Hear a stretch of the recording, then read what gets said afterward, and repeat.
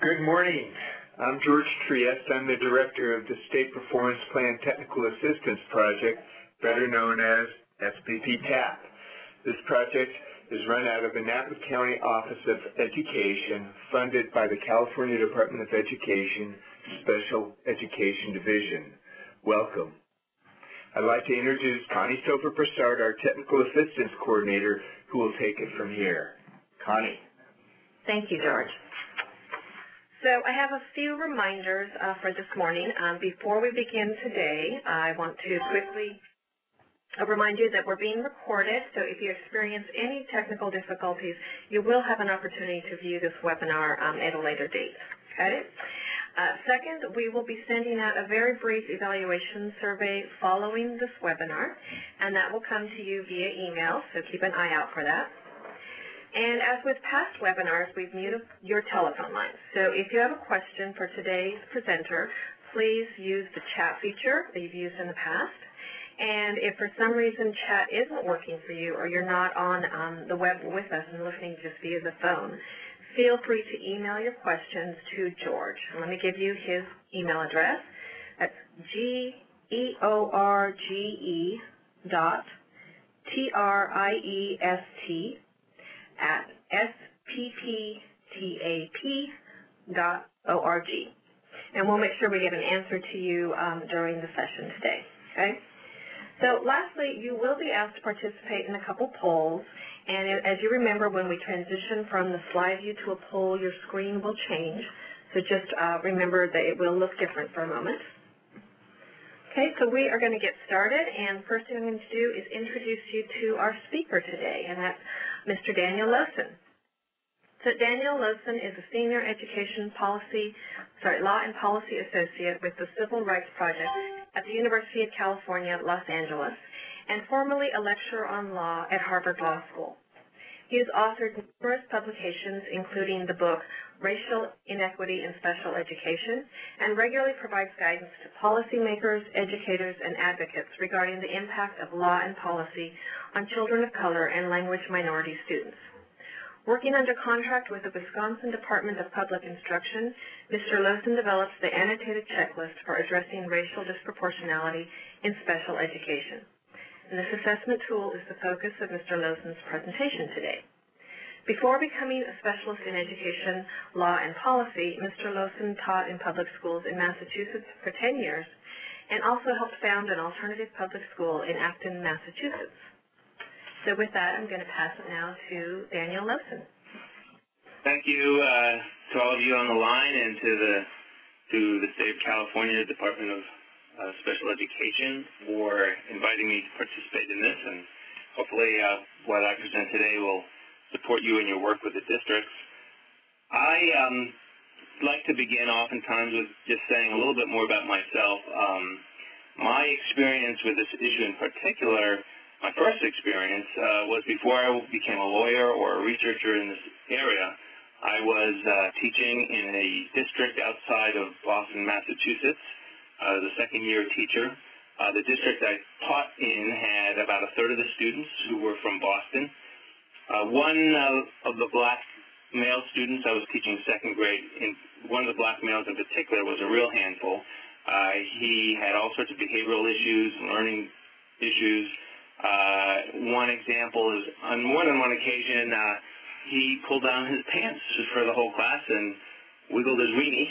Um, there were other kinds of issues that came up. Uh, he had very difficult time learning, but all in all, I never actually thought this student was a student with mental retardation. He was very uh, gifted athletically.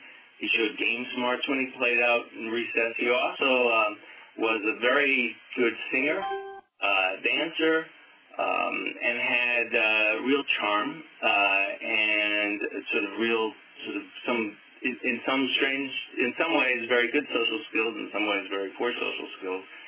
Um, and towards the end of my second year, I had received a lot of support as a second-year teacher in classroom management and improved dramatically in that area. And with that, also was able to help the student uh, and the classroom deal with his behavior a lot better. But I was also told towards the end of this year that he was going to be reevaluated.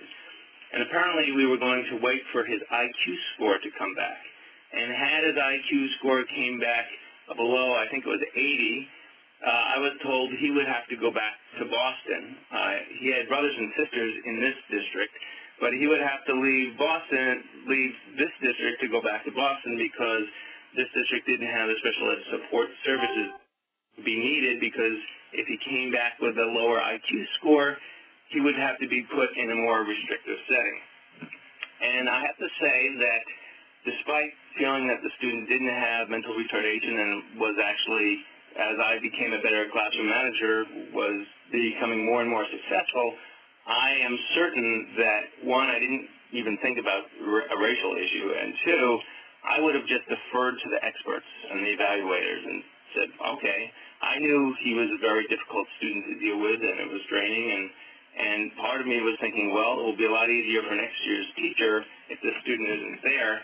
But at the same time, I knew, and I would say the other special educators knew that this student was not a student with mental retardation and probably would have done just fine staying in the district. Well, the long and short of the story is that he did, uh, in this case, stay with the district, but it, I reflect on that in that it just reveals how easy it is that these decisions that are made about students um, can be made and it's not necessarily in their best interest, that there could be inappropriate identification, and that there are a lot of different factors that contribute to this.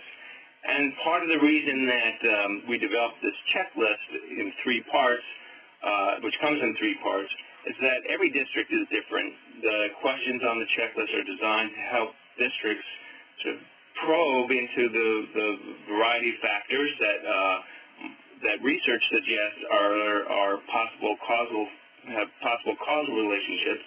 There are also legal requirements that inform the items on the checklist. Uh, they're refined by use in Wisconsin. Uh, so experience working with the checklist with districts, and have since used this checklist with other districts in, in other states, including in California. There are also um, it's important to realize that the the, uh, the structure of the checklist really helps is meant to help to get at the multiple causes of disproportionality and hopefully to steer uh, schools and districts to thinking about what it is they can do and not just think about um, this issue as one of um, merely finding out you know where they're out of compliance with IDEA or some other law, but really thinking deeper about uh, their experience with kids. So there are three parts, as I mentioned. There's the first part looks at um, resources. The second checklist uh, looks at system policy, practice, and procedural issues. The third at environmental factors, mostly factors outside the district. Uh, the checklist is meant to help the district both formulate hypotheses and also, as they're using it, suggest remedies. And I can give an example of, of how that um, uh, how that has happened uh, in a minute. Um, there are, I, I always stress that there, there are lots of different questions on the checklist because there really are multiple responses. The research really points to that there are multiple interconnected causes for racial disproportionality and racial differences in the placement of students and the discipline of students with disabilities. So finding just one cause is unlikely. The idea is that there are several hypotheses that a district could, form, uh, and we, I, I hope, I hope that in using this checklist, districts will find some um, causes that, or potential causes that they can actually do some work on. So I can't stress enough, and this is my uh, my son Sam when he was a bit younger at the Exploratorium, by the way. Uh, but I can't uh, support enough the idea that as you work with districts that you want to encourage them to not to try to necessarily isolate individual factors, but actually just to help them see that there are multiple factors and know that they are entangled and really focusing on the ones that they can have some impact on. Uh, and for this reason, I also, when I work with districts, actually before, it, I often send the, they use the, the checklist either before I get there or with, but I also um, do a lot of work with data around the checklist. And the data, I analyze the district's data, I help them broaden the inquiry, uh, try to find what is working well in the district that's related to the issues uh, they've been identified for. I try to simplify the measures so that they can use the data themselves. Uh, when I leave, I hope the district has the capacity to use and track data and look at trends over time. I also use the data in working with the districts to debunk uh, many of the excuses that I that uh, are presented with and to track progress, and then eventually to evaluate interventions that they that they select. And I should mention we are now on uh, slide 11 and moving to slide 12. And so I'm going to focus the next set of comments on checklist one, which is about resources. Um, the, the story that I like to uh, tell folks about is I was working with a district, a large district in Wisconsin, and they were looking at the checklist and going around and one of the things that they they discovered was that um, there was a Title I director there, a number of special educators, um, and they realized that the and and the and there wasn't a behavioral specialist, but there was a school psychologist, and they they realized that a lot of times the uh, Title I teacher was getting all kinds of calls from the new teachers about uh, what to do about this behavior or that behavior, and she said, you know, I tell them as much as I can do, but we actually, she pointed out, we have a behavioral support person in the district. So that came up in the course of using the checklist as a possible uh, contributor to the racial disproportionality, but also I, in the conversation, they realized that they may actually have a remedy there, right there on hand. So um, it's really important uh, in all the checklists, but um, to, to have special educators and general educators at the same table when they do review the checklist. So if that can happen, I certainly would re- recommend that happens.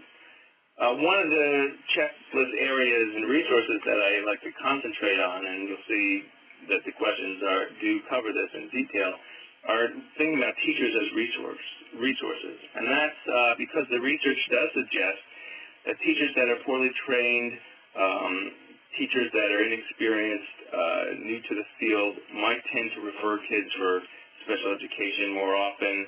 The IDEA has, and we'll go over this in a little bit more detail, has some uh, requirements to, to rule out ineffective instruction as a predominant factor. And Title I also is, reflects a concern that especially poor and minority students are more likely to have teachers that are inexperienced or out of field.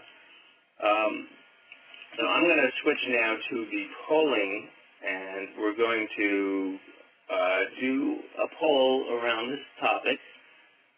So here we go. And so the first question, and you'll be able, you should be able to vote now as soon as I open this. The, that's the wrong one. Close voting. This one, open voting. Okay. So the first question is, do inexperienced or poorly trained teachers, in your opinion, refer more students to be evaluated uh, for special education?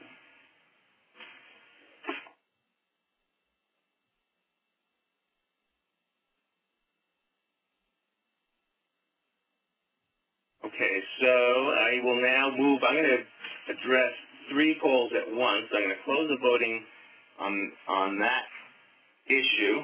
I'm going to try to record your responses. Uh, let's see. And then close this, close the voting, go to the next poll, open the voting. And so the next question is, do districts think about whether the least experienced and qualified teachers tend to be placed with classrooms or in schools with higher numbers of poor and minority students?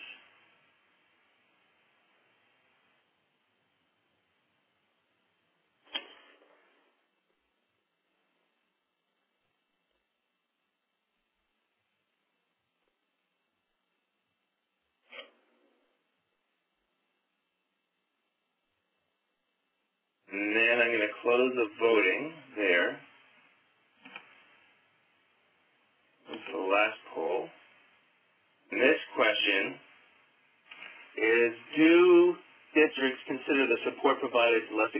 teachers when I think about special education referral rates.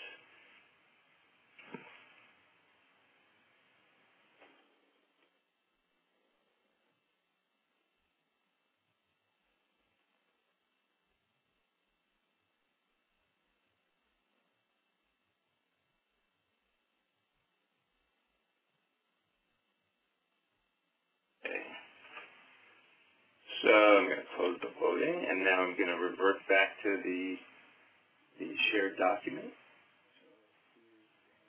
Go.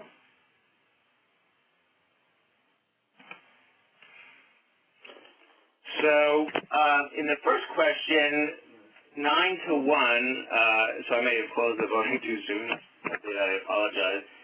Uh, but nine to one people said yes. Uh, they do think that inexperienced or poorly trained teachers refer students for evaluations more often. The uh, second question,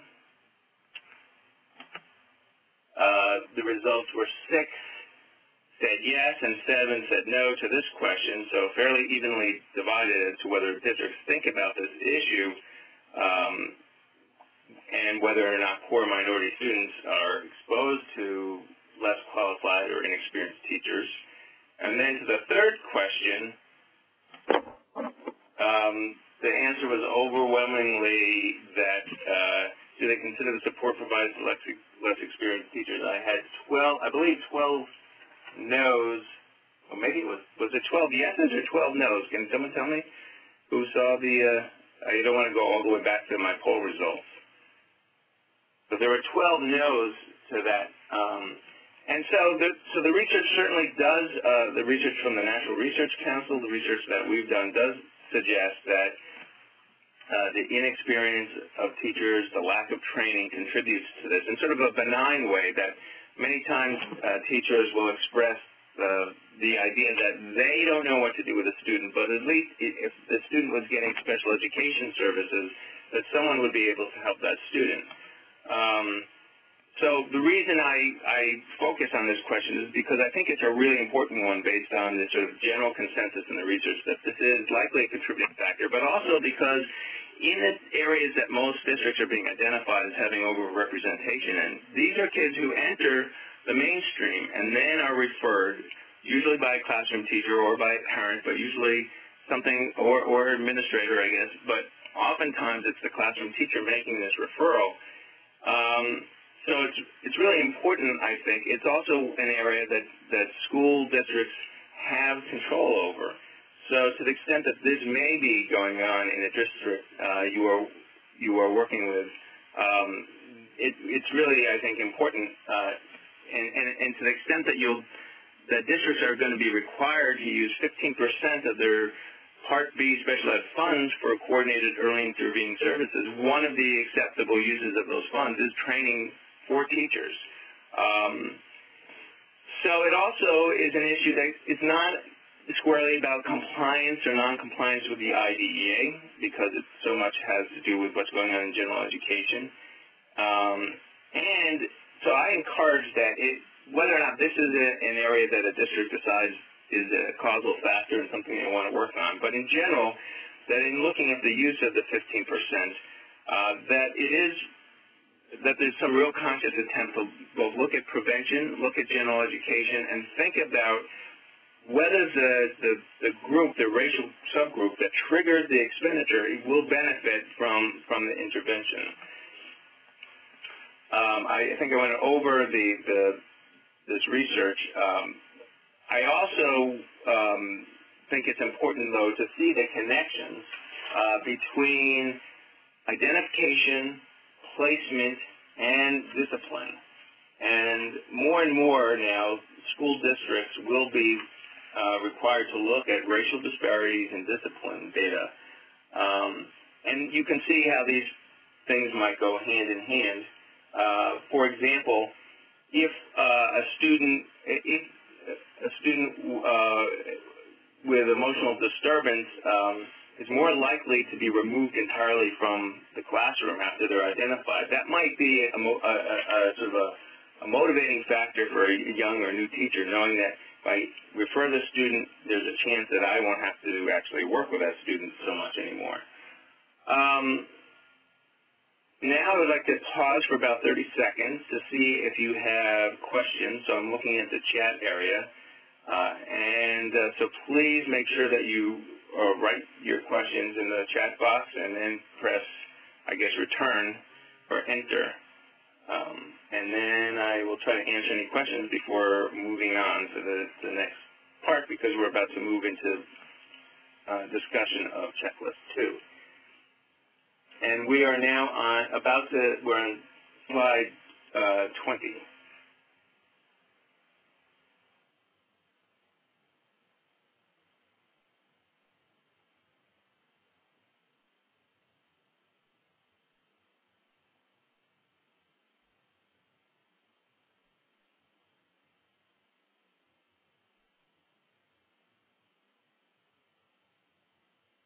So one question from Guillermo uh, was whether or not um, the research that I'm talking about, whether there's a correlation to dropout rates and to most, especially with regard to ELD status.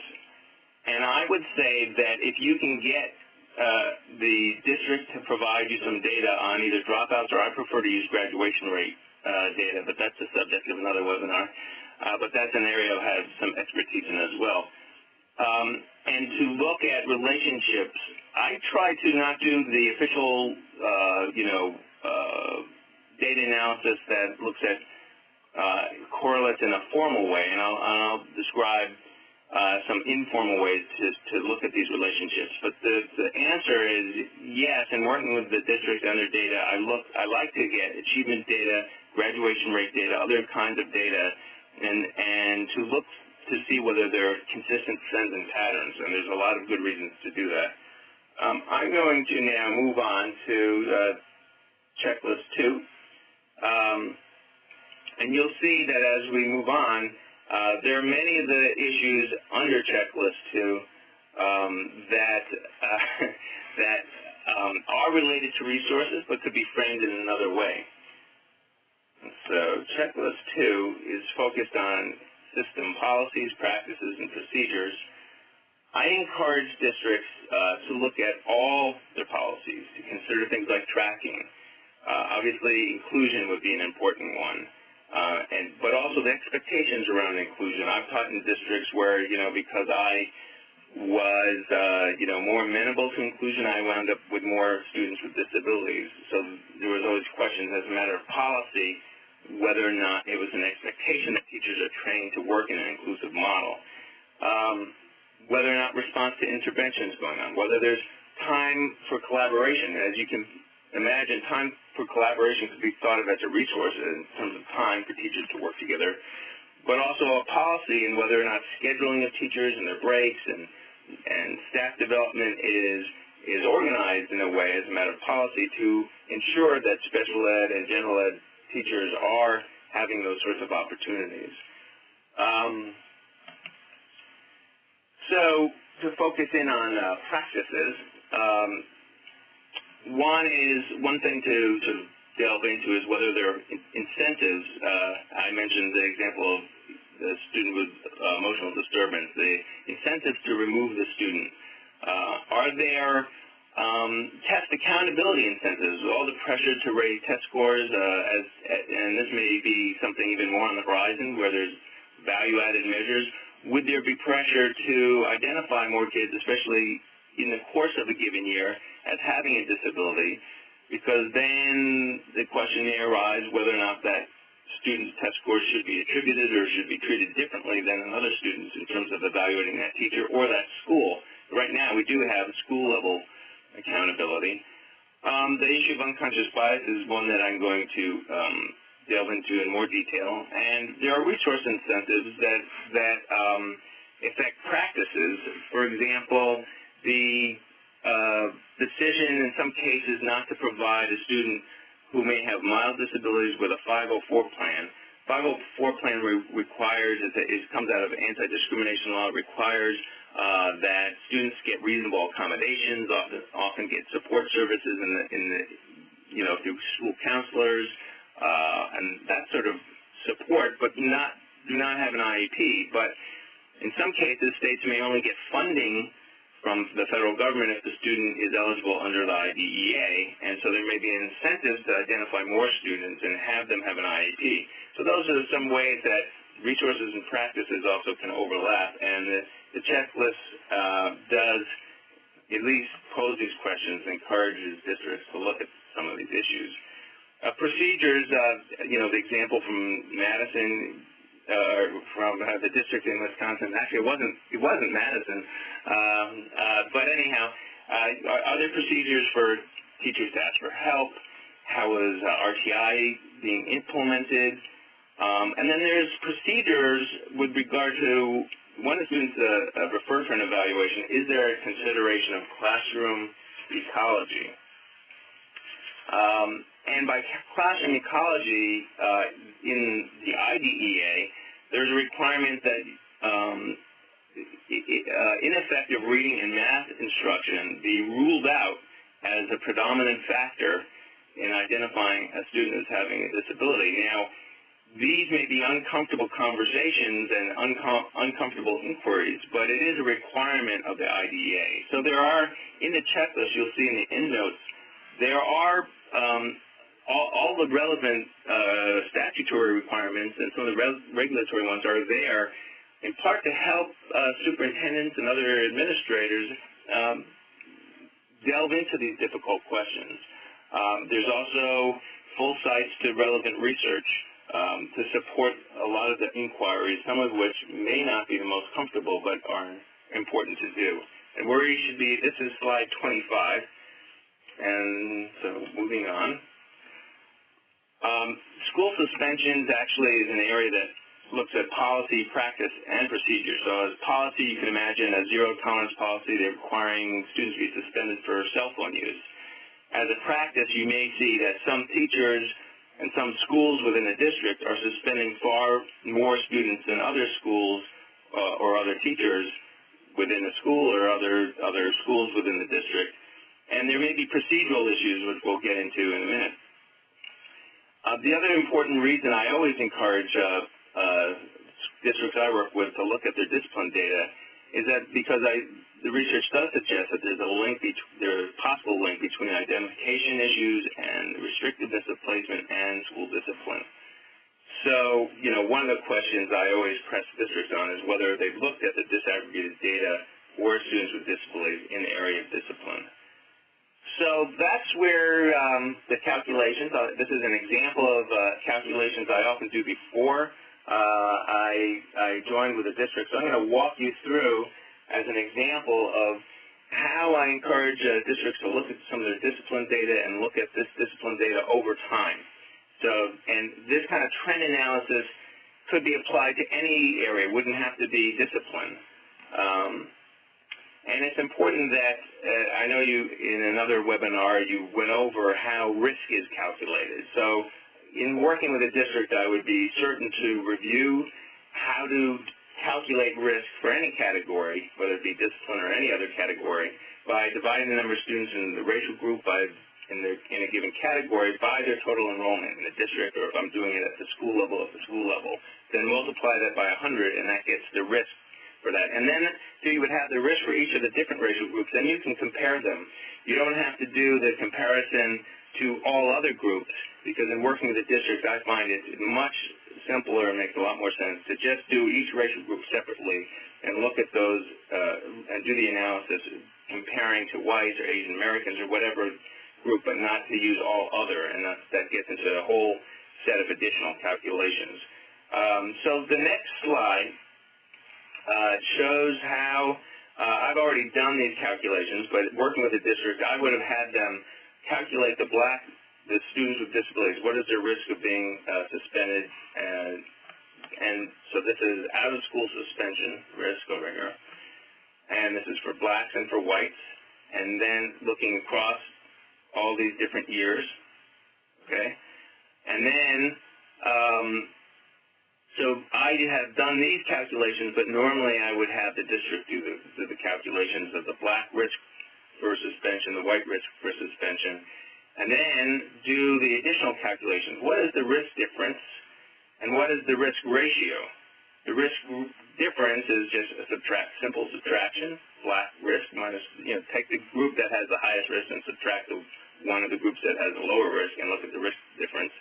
Um, and then calculate the risk ratio comparing you know, two of the more predominant uh, racial groups in the district. And you can compare Lat Latinos with Asian Americans. This uh, enables you to compare any two groups uh, that you would like to do. And then you come up with a, a risk ratio simply by dividing this 9 by 3, and in this case 10 by 5, and so forth.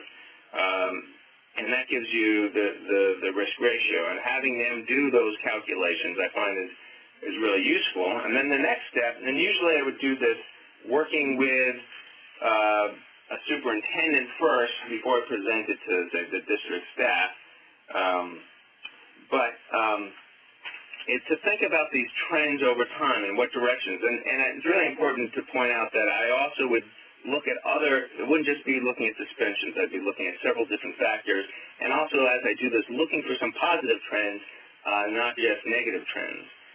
Uh, you will find that um, there are many ways to interpret the same data set. And based on, you know, if you look at the, uh, the table and you have that out in front of you, uh, which is the first page in the calculation handout, you'll see that risk ratio, uh, you, you, know, here are three questions. This was originally going to be a poll, but I'm just going to walk you through it. So has risk ratio, uh, risk ratio has gone dramatically down since 2004. And that, so that's one possible interpretation. You could say uh, suspension risks have gone up more dramatically for whites than blacks since 2004. Um, the black-white discipline gap has nearly doubled in six years, and now there's an extraordinarily high risk for black students with disabilities to be suspended, or all the above. So the tendency for districts oftentimes is to just take one narrative, usually the one that's most favorable, um, and it's important to you know, to steer them away from looking at just one cut at the data. And this is another reason that I also suggest looking at the data, but also looking at several slices of the same data and looking at, at that over time. So it's true that the risk ratio went down from a risk ratio, if you're just looking at black, blacks and whites, from 3.0 to 2.2. So that looks like uh, uh, an important um, uh, change, and I would acknowledge that it is important. Uh, but I'd also say that we should consider the fact that one in five blacks were suspended back in 2000, uh, are now suspended, and it had only been one in 11 blacks in 2004, which is what the frequency for whites is now. Uh, and point out that just looking at the risk ratio alone can mask the depth of a real problem and its growth. And this is also gets to, you know, beyond the mere compliance uh, and really digging in and looking at problem solving. It's also true, you could look at the same data set and say the white risk went up three times the 2004 rate when they gained six percentage points. And that was a larger percentage increase than for blacks, which only went up 2.2 times the 2004 rate. And which is also true, but, but it's really important to point out that blacks gained five percentage points more than whites in the same period. So the, the sort of looking at percent growth over time can also mask, uh, you know, what it is that, that is being discussed and, and, and, and it's really important, I guess, to get to this last issue, which is that blacks with disabilities now are experiencing, and I would call this an extraordinarily high risk for disciplinary exclusion, and that it's doubled in it at what it was in 2004. So I feel that C most accurately describes uh, the trend um, in the data. And that if we had just looked at the risk ratio, you would miss that. Or if you just looked at the percentage change over time, you would also miss that. Uh, one of the things that I have, I actually have districts uh, use their data and fill in uh, charts, uh, and so they use markers, and, and I, I'll present a blank chart in, in sort of a workbook exercise. And because I feel it really one, working with their own data really helps them understand the issue, but also avoids these kinds of problems where there's a, maybe a preference to describe it in one way or another that's more favorable to the district, where if you look at this, this is a chart of all the data that's in your table. And you can see that here, yes, there's a, this is a risk ratio of 3.0. There's a six-point difference. And here, there's an 11-point difference. The risk ratio is lower than it was here, but this gap is huge and involves far more black students than here, uh, than, than in 2004. So, and if you think about a trend line, I mean, the, the trend is really a much steeper uh, change than than what than what's experience what is going on. It's, excuse my floppy handwriting, but But the, the, the point is when they actually use their own data, calculate this themselves, and plot it themselves on a graph, these points are driven home, and they'll leave your work with them being able to do this themselves. And it's presented looking at risk and risk difference is a very powerful way to drive uh, the issue home in hopes that, um, you know, folks will really own this issue. And so, uh, which brings me to this issue, an overriding issue that I have in working with districts. This is my son, Sam. And he came back from his first day of kindergarten once and said, Daddy, today I learned the Pledge of Illusions. So I always say, I use that now, and I say, we need not to let, we make sure that no one is taking this Pledge of Illusions, uh, because it ends with liberty and justice for none. And the empirical data really helps, but other data also helps get beyond the sort of sense to avoid the problem some way or another. So one of the issues I always bring up in working with districts is um, um, implicit bias, uh, which is uh, fairly well established by neurological scientists from Yale and Harvard, and they look at um, the uh, so they've developed something called the implicit attitude test, the IAT, that helps reveal uh, unconscious bias. And there are many tests, uh, and I'll give you the website where you can actually explore this for yourself, but you can look at gender, you can look at age, all sorts of kinds of ways to do this. And it's done using sort of neurological impulses and word associations or face and word associations. Um, it's also true that when, when, when scientists have looked at implicit and explicit racial bias, um, they find that both whites and blacks have implicit bias that is more favorable to whites than to blacks, even though they may very differ about explicit racial bias, if any at all is detected. Um, and this gets to back to the, there's a, there's a general, uh, I know Russ Skiba has pointed out and others, and I experienced this at the district level, there's a certain reluctance to really look at the racial data on a regular basis, and I think part of it is, is, is underneath this, is this uh, uncomfortability with looking or considering that bias, uh, racial bias of any sort may be part of what's going on. What I often do is I talk about my own experience, and um, when I was being trained to be a teacher, it was well known in terms of empirical data that girls tended to, around fourth and fifth grade, stop being high performers in math and science. So uh, we did a lot of videotaping in my classroom. We did this with all the teachers, men and women. I was the only male teacher in my elementary school. But I didn't say, oh, I'm not a male chauvinist, don't do this, you know, it, could, it must be something else. Um, there wasn't this reluctance. So I think we need to, to look at the racial differences and a lot of the trends that we're seeing and think of it in, in terms of the, the contribution of a overall societal bias in a way that, same way that we would consider that there might be gender bias or something about how we do our and deliver instruction around math and science that may be contributing to this sudden change in girls' attitudes about math and science and their performance. Um, and this brings up the issue of cognitive dissonance. In other words, if something is really too difficult to, to think about, then you find other reasons. You avoid you avoid it. So uh, another reason I encourage folks to look at implicit bias is because it's really important to look at the racial data, uh, not to just try to find one single factor. It gets you out of the whole uh, individual, you know, that, that there's one problem or an issue of noncompliance. We just fix that and we'll be, uh, you know, out, out of the out of the hole, so to speak. So, you know, if we can't address this possibility, it's, it's less likely we'll really use all the evidence that are at our disposal. And um, um, you know, what we pay attention to and what districts pay attention to is they formulate hypotheses and decide how to use that 15% and whether or not they track whether it's working for the racial group that triggers it, is, you know, is really important. Um, so here's a place where you can test yourself and explore this, and I certainly would not recommend, you know, uh, raising this specifically in terms of this research without having done this yourself.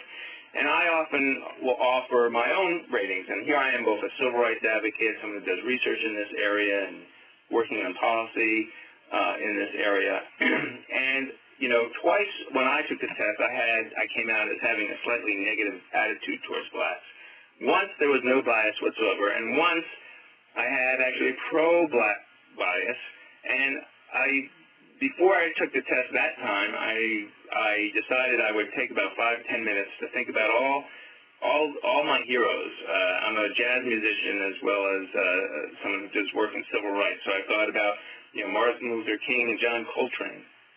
And after thinking about that for about five minutes and having all these positive associations and so forth in my mind, and then I took the test, um, it affected my my outcomes. And there is other research to suggest that that, that would be the case. So, um, so it's really important to to bring that up. But it's also true that sometimes noncompliance is an issue, and it's often the big stick, something that uh, that folks, uh, districts at the district level want to avoid. Uh, on the one hand, so sometimes they that's what they're looking for. Sometimes they don't want you to talk about possible noncompliance. But discipline is an area in special education, especially with looking at long-term suspensions uh, of over 10 days, can be found to have a link to procedural noncompliance. And um, I should mention again that the, the checklist does uh, contain all the legal requirements in the endnotes uh, that are associated with this in terms of the procedural requirements.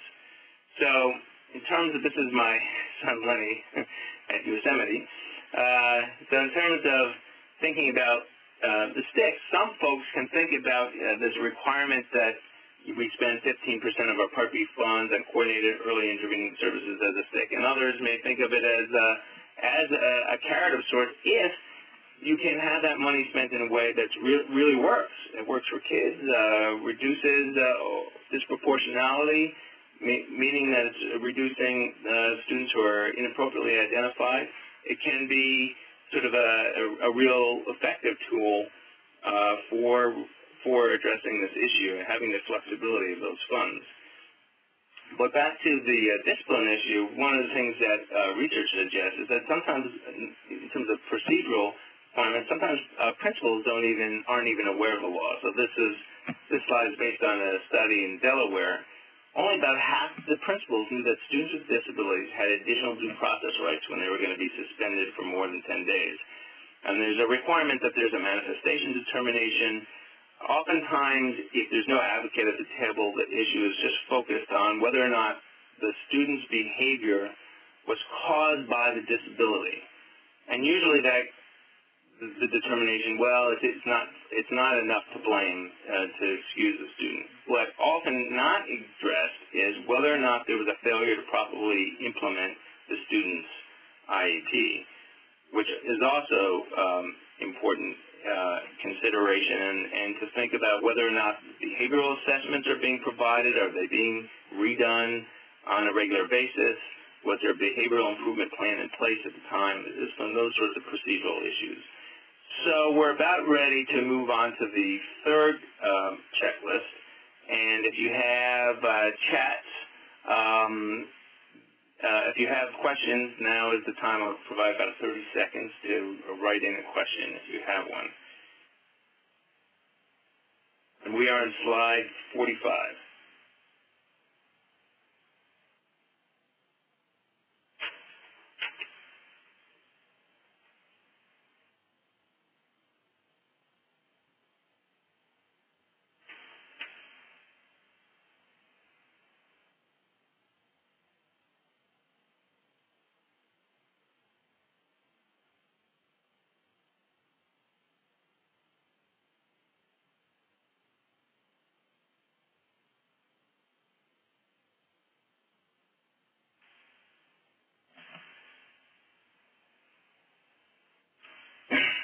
So looking at checklist three, uh, concerns itself with environmental factors, and it raises the question of who is responsible, what's the remedy, um, and I always point out that um, that uh, even when there's a causal factor uh, that may be contributing, that there are usually things that schools can do, and I'll give you an example of that. Uh, just going back for a second to the chat, uh, I see there was a question. The lack of uh, Guillermo asked, the lack of pertinent data that could be collected, how to get it looked at. So one of the things, uh, just to answer that question before moving into this, and it's relevant to this inquiry as well, is that I always talk to the, the superintendent or the special ed director and try to identify who their data person is and ask them for their, their data, not just the data they provide to the state that contributed to the fact that they were identified, but I ask for several different kinds of data and establish a relationship with that data person and explain that what I do is work with the data as well as the checklist when working with them to help them have a sort of deeper and, and broader inquiry uh, using the checklist. And, and, and so far, um, there hasn't been an issue, uh, well, that's actually not true. There was one district where the, the data person originally said, oh, they'll provide me with all the data I wanted, no problem. Push came to shove, I kept asking for it, and they said, well, I don't think this is an important issue, so I'm not going to, I don't have time for this. I'm not going to provide the data, even though the superintendent and the special ed director had asked her to do this. So I had to use all the data they had supplied to the state. Um, and so there was there was limited to how much I, I could do with that district. Um, there have been a lot of changes in, in that district. Um, and in fact, this data person is no longer there. So, but that didn't help me at the time in terms of working with the district. So occasionally there can be some pushback around the data. Hopefully, there isn't that. You won't experience that. Uh, not experience that in a district in California. Um, so moving on to checklist three. Um, you know, a lot of these questions sort of get at the, the sort of general question it's a sort of blaming game. Whose fault is it? And this is Lenny in the back and Sam in front, and that is actually Alcatraz in the background.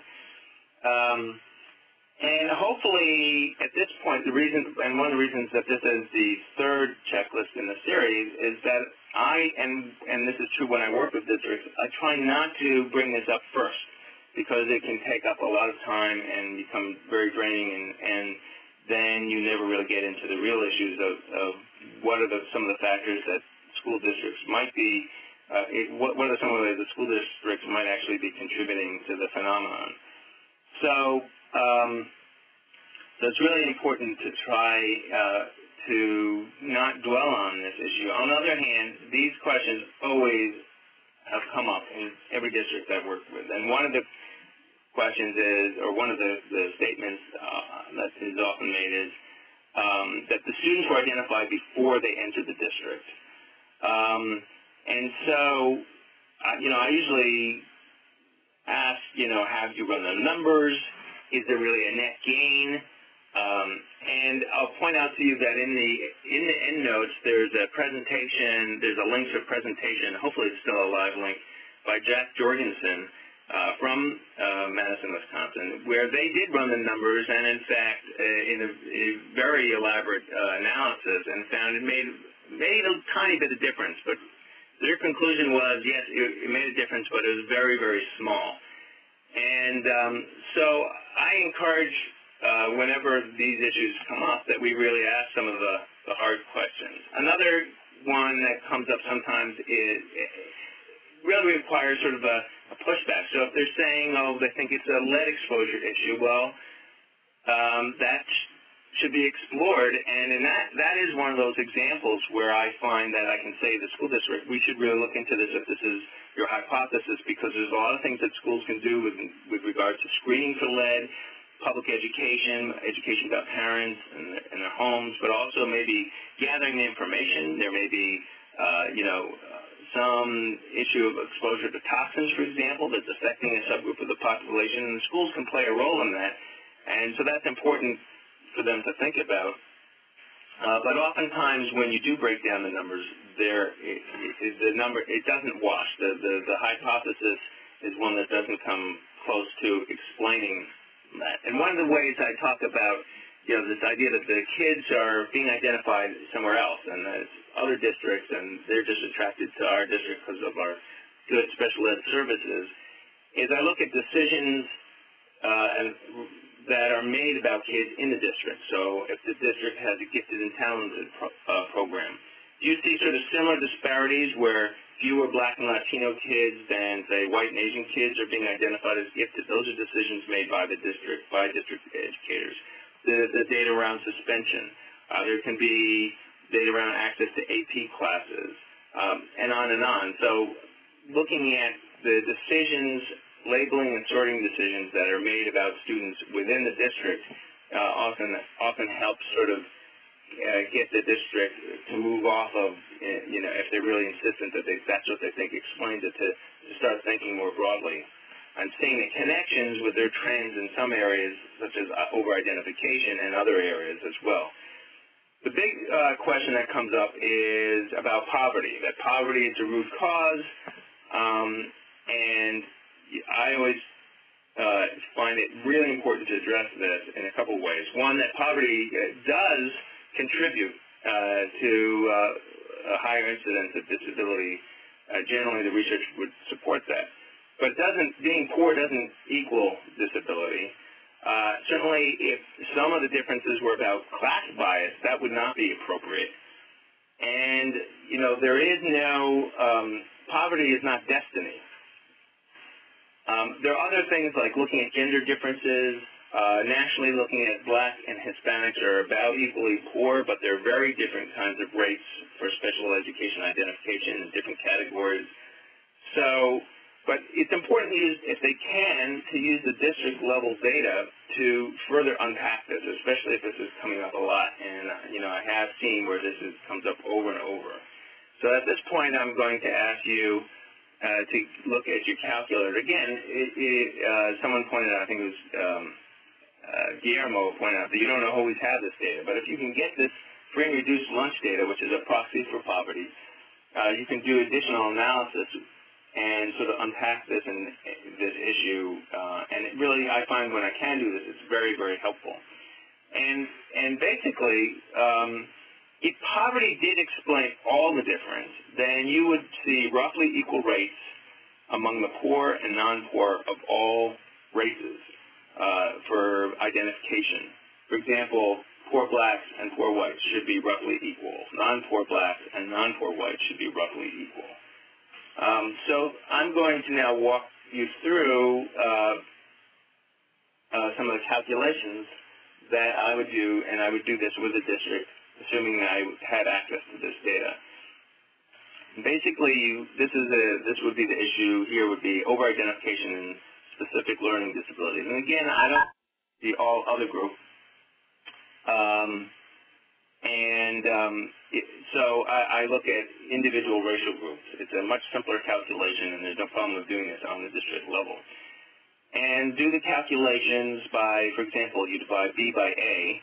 So the, the students with free and reduced lunch who have students with disabilities who are black divided by the total black students on free and reduced lunch. And the same thing for the white students.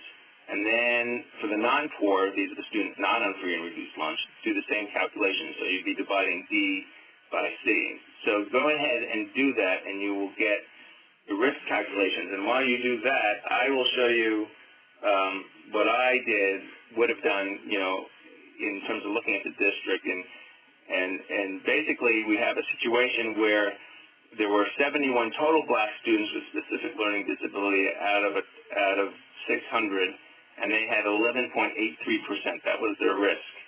And the number of white students was 48 out of a, out of 1,000, so their risk was 4.8. Difference was 7.03. The risk ratio for this district, this was without uh, analyzing for poverty, was 2.47.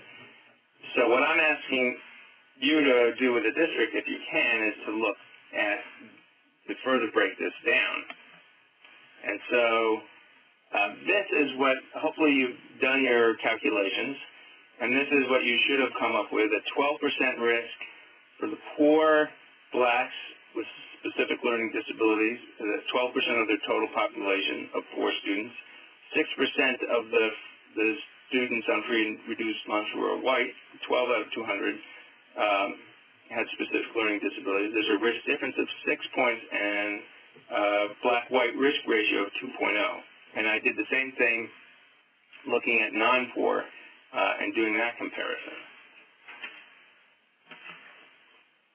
So again, sometimes there can be a tendency to to just look at um, the best news, and and you might say among the poor, the black-white risk ratio was just 2.0, and um, so that was lower than the overall district. And in addition, there were more poor blacks than poor whites, so so probably poverty is contributing uh, to the degree of racial disparity in specific learning disabilities. And while that is true, these things are also true.